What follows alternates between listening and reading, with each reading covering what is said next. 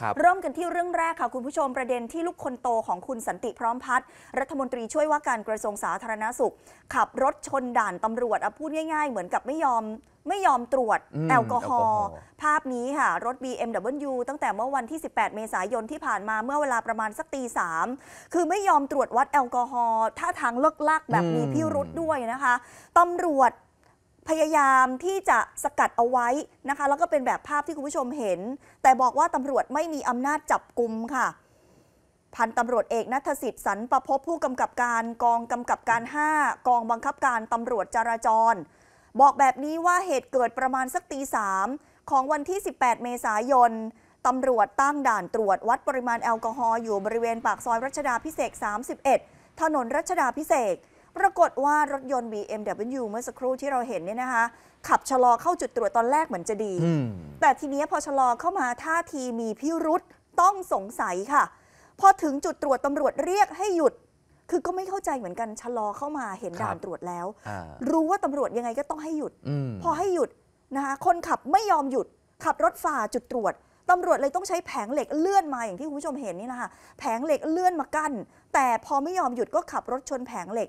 สภาพแบบนี้ก็ชนกับอยู่ตรงนี้เลยครับนะคะ รถเคลื่อนที่ไม่ได้ตำรวจเลยร่วมกันจับกลุ่มคนขับลงมา เพื่อตรวจวัดปริมาณแอลกอฮอล์ซึ่งคนขับไม่ยินยอมให้ตรวจวัดอ่าบอกว่าตำรวจไม่มีอำนาจไปจับกลุ่มเขาตำรวจเลยใช้เครื่องตรวจวัดเบื้องต้นแบบไม่สัมผัส จ่อใกล้ปากและจมูก วัดปริมาณแอลกอฮอล์ได้ถึง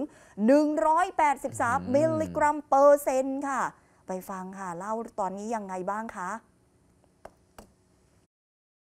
ลักษณะของขับตายนะครับ ก็คือลักษณะของดูแล้วมีอาการคือเมาตัวมีนะครับโดยที่จากการตรวจสอบแล้วเนี่ยมีขับขี่มาคนเดียวเดี๋ยวมันจะเห็นนะครับค่ะหลังจากที่มาเจอที่ด่านนะครับ ก็เอ่อได้มีพฤติการหรือว่าจะพยายามจะจะจะออกจากด่านนะครับนะครับ เราก็ได้มีการเอาแผงกั้นมานะครับก็มีการชนแผงกั้นนะครับ เราแต่ว่าไม่ได้มีการ เอ่อเหมือนรุนแรงอะไรขนาดนั้นครับเพราะว่ารถเขาเป็นรถรถสปอร์ตใช่ไหมครับค่ะมันมันเตี้ยมันก็เลยไปไหนไม่ได้นะครับอืมหลังจากนั้นเนี่ยเราก็เชิญเขามาวัดแอลกอฮอล์นะครับ ซึ่งจากการเชิญในครั้งแรกเขาไม่ยอมไปเป่า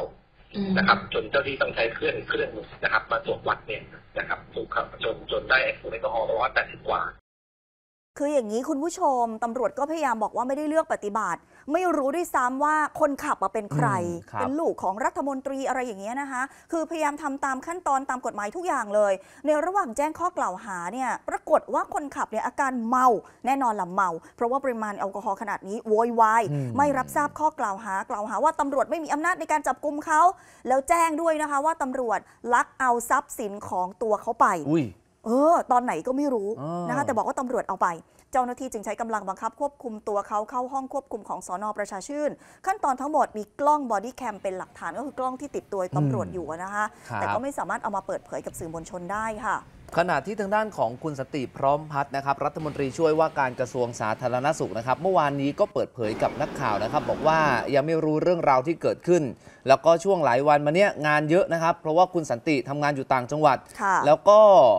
คนที่ก่อเหตุเมาแล้วขับเนี่ยคุณสันติก็บอกว่าถ้าพูดถึงคนนี้ น่าจะหมายถึงลูกชายคนโต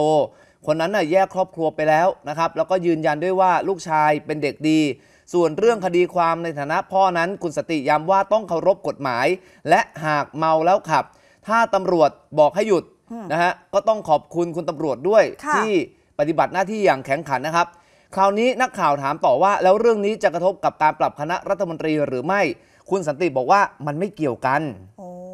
ค่ะแหมก็ถามไปถึงเรื่องนั้นเออเรื่องลูกกับครับเรื่องปรับคณะรัฐมนตรีต้องอาจแยจะกไม่กันเกี่ยวกันนะจริง ๆนะคะอืมต้องแยกกันทีนี้มาคุยกับมูลนิธิเมาไม่ขับออกแถลงการเกี่ยวกับเรื่องนี้ค่ะ แล้วก็เรียกร้องให้ทางคุณเศรษฐาทวีสินนายกรัฐมนตรี และรัฐมนตรีว่าการกระทรวงการคลัง รวมทั้งครมด้วย ขอให้ปฏิบัติตามนโยบาย เมาไม่ขับ เหมือนกับรัฐบาลทุกชุดก่อนๆด้วยนะคะ เพราะว่านี่เป็นหน้าที่ของรัฐบาลและรัฐมนตรีทุกคนอืมไม่ใช่แค่นั้นค่ะ มูลนิธิเมาไม่ขับบอกว่าคนในครอบครัวด้วยอ่าของทางฝั่งรัฐบาลด้วยที่จะต้องยึดถือปฏิบัติตามอย่างเคร่งครัด เพราะถ้าบุคคลในรัฐบาลไม่ยึดถือปฏิบัติตามกฎหมายคนในครอบครัวคุณไม่สามารถบอกไม่สามารถสอนได้อืมให้ปฏิบัติตามกฎหมาย คุณจะไปบอกประชาชนทั่วไป ให้เขารักษากฎหมายได้อย่างไรคะ จริง ๆ ก็คือว่าเป็นเรื่องของกฎหมายทั่วไปที่ประชาชนอืมทุกคนจะต้องทราบ ใช่ถึงจุดตรวจก็ต้องครับชะลอรถ แล้วก็หยุดอืมจริง ๆ เพื่อให้ตำรวจเขาตรวจนะคะ ถ้าครับ คุณมีปริมาณแอลกอฮอล์คุณรู้อยู่แล้วว่าคุณเมา คุณอืมต้องยอมรับความจริงอะ ก็ต้องถูกดำเนินคดีใช่ค่ะ นะครับ